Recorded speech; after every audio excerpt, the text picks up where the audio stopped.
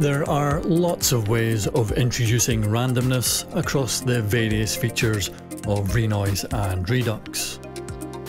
But what if you generated changes at random initially and you like what you heard? So you want those changes to be the same each time the song is played. In the pattern and phrase editors, obviously you can just enter things manually. But in the right click menu, you'll find a randomize option available within each of these sub menus.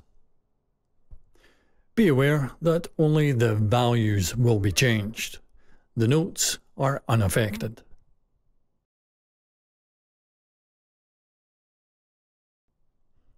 If you'd like to randomize notes though, there is an excellent tool you can install called, oddly enough, Randomize Notes. For graphical automation, you can right click and select Process Create Random Points, which will place a point of random value on every line. This will either fill the entire pattern or just the selection. If you're generally happy with the values you have, but would just like to nudge them around a bit, then the Humanize option will randomize the targeted values up or down within a small range. Up to 8 in the pattern and phrase editors, or up to 2.5% in graphical automation and the external editors. The Advanced Edit panel features another Humanize option where you can specify the range for value randomization. Note though that this only affects the volume, panning, delay and effects values of the pattern editor. When it comes to graphical automation and effect commands, the methods we've shown work within a single pattern. So to repeat the randomized sequence across the whole song, you'll need to keep manually copying and pasting these values as you build new patterns to have things running automatically, we'll need to look at other features. The LFO certainly fits the bill, but its random mode can't be controlled. The custom mode, however, can. Now, to make this move through the same sequence every time the song is played, you'll need to command the envelope to restart from the beginning. This is done by going to the start of the song and right clicking on the reset button.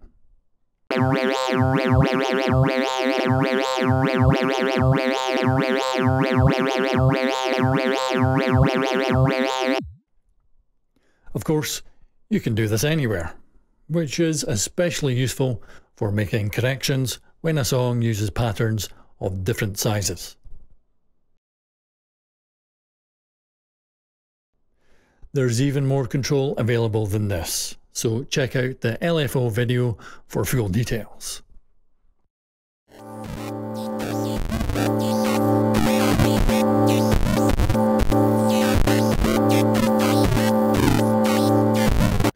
In the modulation section of the sampler, the LFO doesn't have a custom mode, because there's already a dedicated envelope device for that.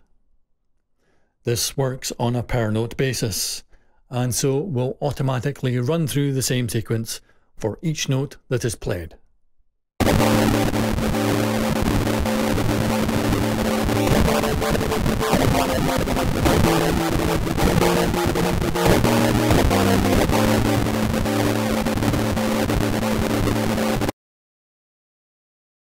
The stepper works differently however, by changing its value whenever a note is played.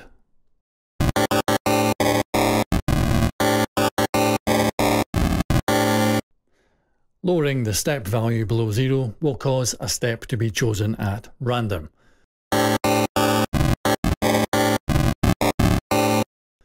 Though like the LFO's random mode, this cannot be controlled.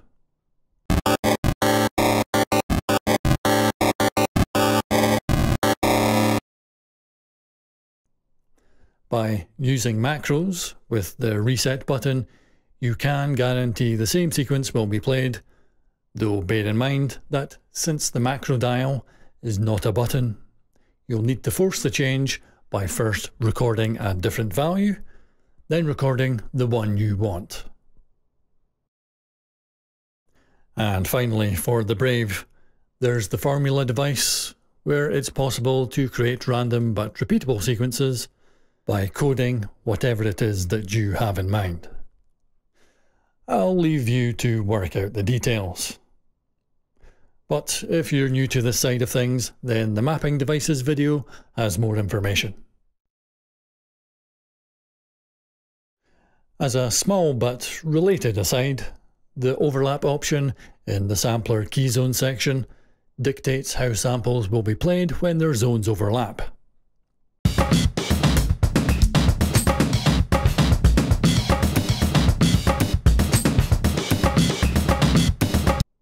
Random randomly plays the samples in a round-robin sequence, while Cycle plays through the sequence set in the sample list.